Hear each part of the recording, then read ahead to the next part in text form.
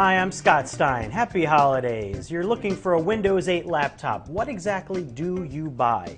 That's a pretty confusing landscape with all these flip tops, and the safest bet tends to be, right now, a standard laptop with a touchscreen. The price for a lot of these laptops has been centering around $700 as of late, and the Asus VivoBook S400CA offers that package for $700, a pretty good deal when you realize that it's got a Core i5 processor, 500 gigabyte hard drive, 4 gigs of RAM, and most importantly, a 14 inch touchscreen with nice glass on edge to edge over here.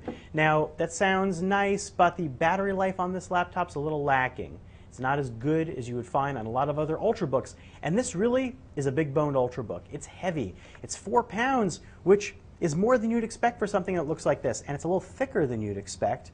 It's in that 14 inch Ultrabook territory, lacking a DVD drive, which wouldn't be a deal breaker except for the fact that the Acer Aspire M5 I just recently reviewed has a DVD drive at the same price with a backlit keyboard. This one does not have a backlit keyboard.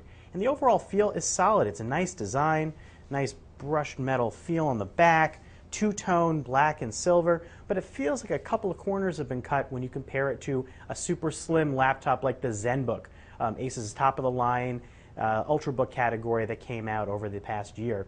Uh, the VivoBook is a new class of laptop by name. This crazy VivoBook, what is exactly does that mean? Well, it's basically a regular laptop with a new name, trying to emphasize the fact that there's a lot of touch involved here with the touchscreen and a very large, pretty comfortable touchpad. Nothing like as good as a MacBook Air, in my opinion, but it's pretty good in the Windows 8 universe. All in all, it's an okay laptop. It's a pretty good value. It's a somewhat forgettable final product, that definitely covers all the bases if you're looking for it, but I guarantee you're going to find a lot of laptops like this out there at that price range. And by this time next year, that's going to seem like a lot of money for this. But even at the beginning of 2013, I think there are going to be a lot of laptops coming out that are going to offer similar value, maybe even better. If you feel my enthusiasm flagging just a little bit for this laptop, it's because we've seen a lot of these before. This touchscreen laptop that's your standard issue, right in that $700 price range. The VivoBook doesn't really rise above the competition and provide anything to write home about. But it's not a terrible deal if you happen to buy one. I'd hold out. I'm Scott Stein, and that's a look at the Asus VivoBook S400CA. Thank you.